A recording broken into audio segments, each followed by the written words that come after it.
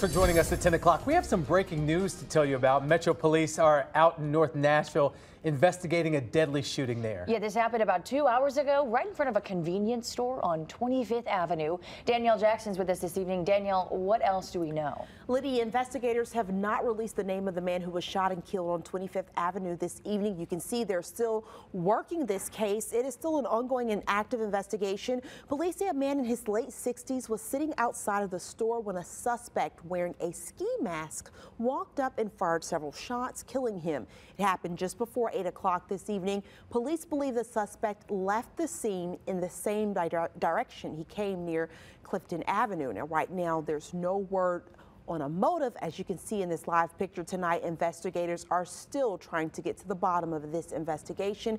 And of course, we will keep you updated with any new developments. Lydia Morris. Danielle Jackson, thank you so much.